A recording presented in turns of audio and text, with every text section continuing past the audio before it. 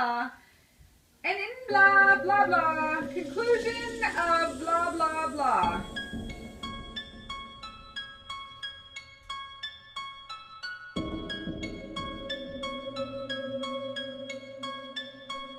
Yo, I don't know what you've been told, but the history of our nation is worth more than gold. So stop right there and take a seat. I'm gonna serve you a lesson. Get ready for the heat. The English started spreading like what up? This is the fur trade. We want the Appalachian Mountains to the valley. The French don't like it, it was already theirs. So they fought for seven years like wolves and bears.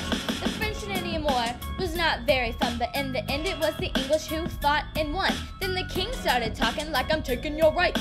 And that's what started a whole new fight. There was a massacre in Boston, then boycotts on the street.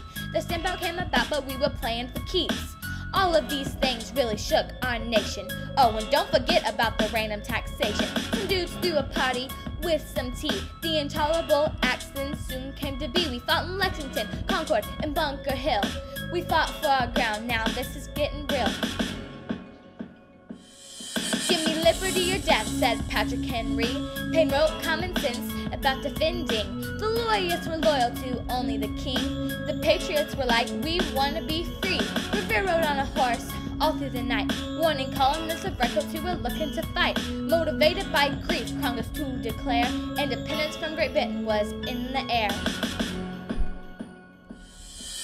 George was the general of the military. He fought for freedom and liberty. He had victories at Boston and Saratoga too. Then France became our friends. Man, that was something new. Valley Forge was cold and the conditions were tough, but the defeat of Cornwallis was some cool stuff.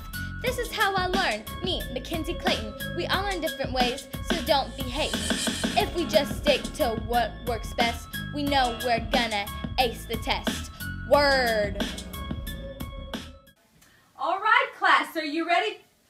Mackenzie Clayton! Oh, I'm awake, I'm awake. It's test taking time.